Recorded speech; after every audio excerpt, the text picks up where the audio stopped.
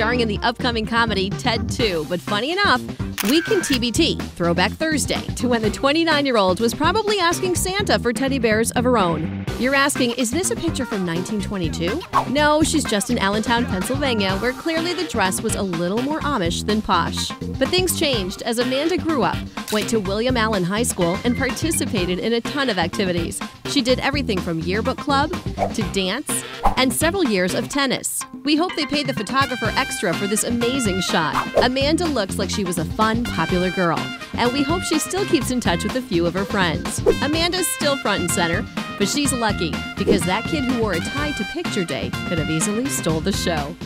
All right, so Miley Cyrus can be a little outlandish at times. We know this. The whole town knows this. But leave it to the governor himself, Arnold Schwarzenegger, to set the record straight on Miley's true colors. Arnold was able to meet Miley when she was dating his son Patrick. He tells The Howard Stern Show When I did meet Miley Cyrus, when she came up to Sun Valley skiing during our holidays, I found out that she is a fantastic person. The 67 year old's opinion came with some good examples, too. He reportedly says, We had little kids in the house. She went out every day to buy gifts for them. She played with them, really, sincerely, like two hours at a time, would go out in the snow with them. Well, we guess she isn't solely focused on adult activities. Arnold added that she was a wonderful person, then she has this career side where she maybe has to be a little out there. So what? It didn't bother me. We trust Arnold to know whether or not she's expendable. One of the last times we saw Cameron Diaz was at the premiere for Annie back in December 2014, and there's good reason. According to Us Magazine, Cameron is taking at least a year off from work to focus on becoming a mother and engaging in her new role as wife with husband of five months, Benji Madden. In other words, forget Charlie's Angels. Cameron wants a little angel of her own.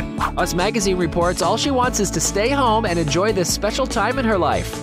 She has told her team she won't answer the phone for any amount of money even though she has received offers for various things. She is adamant that she is not available for anything.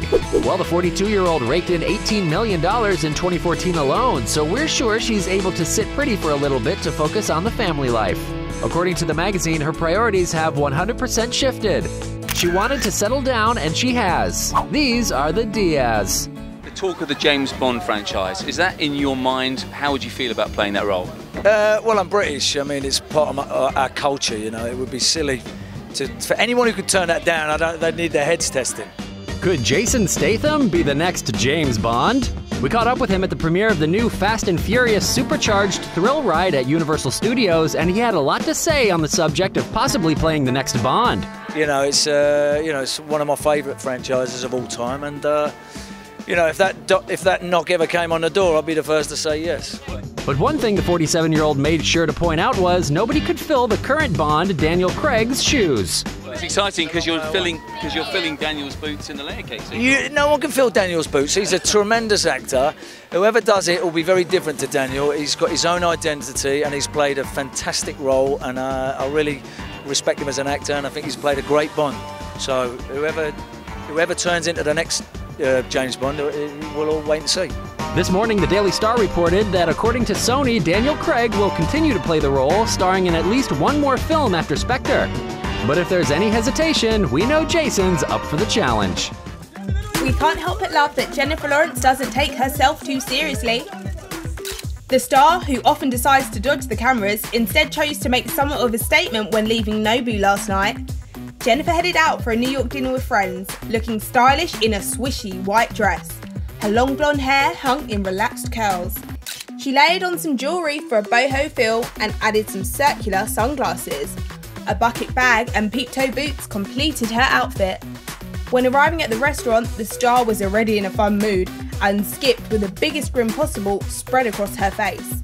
But it was when leaving that Jen decided to get into character, sporting some uber cool chopstick teeth. I guess sometimes a girl just wants to act her shoes.